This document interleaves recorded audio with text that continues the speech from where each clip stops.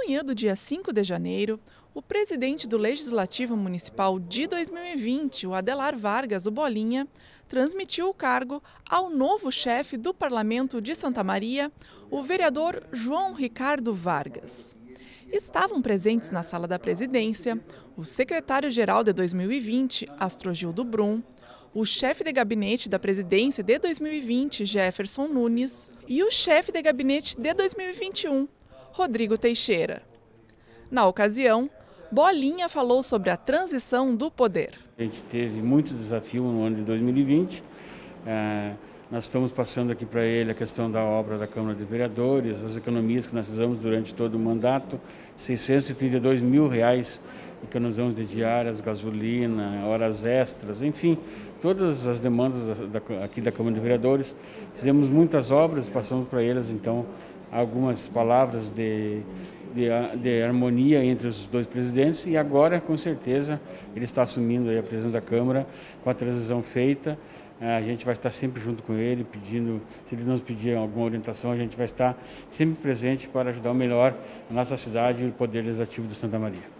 O novo presidente foi eleito na primeira sessão de 2021, ocorrida no dia 1 de janeiro.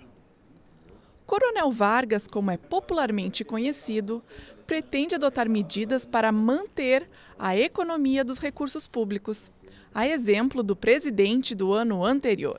É uma das primeiras uh, expectativas e dentro do nosso planejamento, a, o primeiro passo é nós darmos seguimento à administração do nosso ex-presidente uh, Adelar Vargas, né, que veio, inclusive, de um setor que nós precisamos seguir exatamente como ele fez, da questão da economia, da casa, questão da gestão, porque nós vivemos um ano de 2020 muito complicado e existe uma perspectiva de também termos um reflexo no ano de 2021. Então, seguindo este exemplo da administração do vereador Adelar, nós também vamos fazermos aí algumas modificações dentro no mesmo sentido.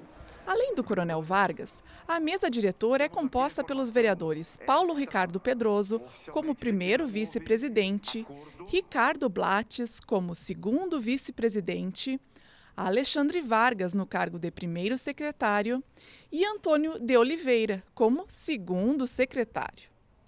Os primeiros e segundos suplentes são Danclar Jesus Rossato e Admar Possobon, respectivamente.